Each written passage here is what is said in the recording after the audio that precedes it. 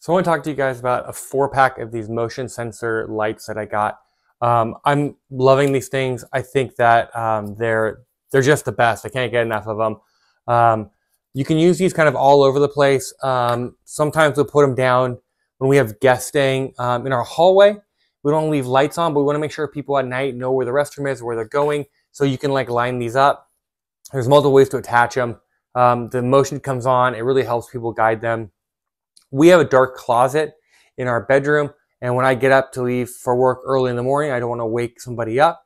I can um, put these in and it does, I'm not turning on big lights, but it really kind of lights up our closet. Um, I don't have to worry about fumbling for a switch or anything like that. I just walk in, it lights up and it's beautiful. Um, there are three different uh, settings, um, three different types of light on here. I'll cycle through, I'll show you guys how it works.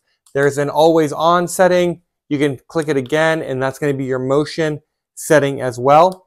Um, there's also a remote that you can use um, that to turn it on, to turn them off.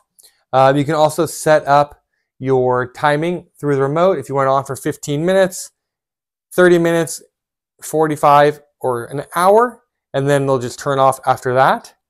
Um, you can also adjust the brightness from the remote, which is kind of nice. Change up your white light, natural light, or a nice warm light, depending on what you like. Um, and again, all that happens from the remote, or it can happen from the um, hard buttons on the light itself. Now, how to go ahead and attach this?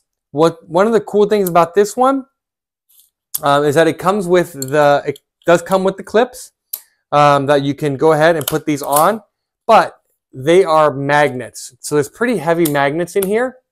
Um, and you go ahead and peel the adhesive off. You can put these on and then you can go ahead and magnetize them. So you're not drilling this in at all. Um, it makes for a really easy way to kind of move these around.